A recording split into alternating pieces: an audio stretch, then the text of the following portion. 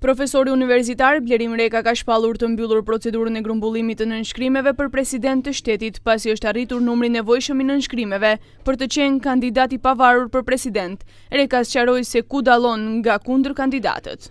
Në krahasim me kandidaturën e zotit Pendarovski, i cili thotë e ka moton shoqëri për të gjithë, Unë dalloj prej tij se unë them shteti për të gjithë.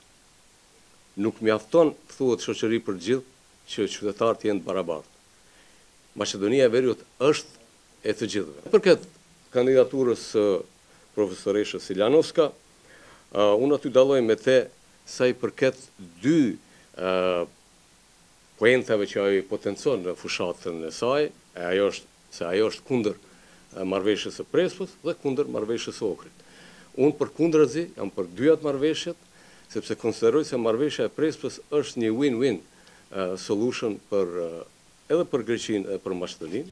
Mbështetje dhanë edhe dy partitë politike opozitare Lëvizja Besa dhe Aleanca për Shqiptarët.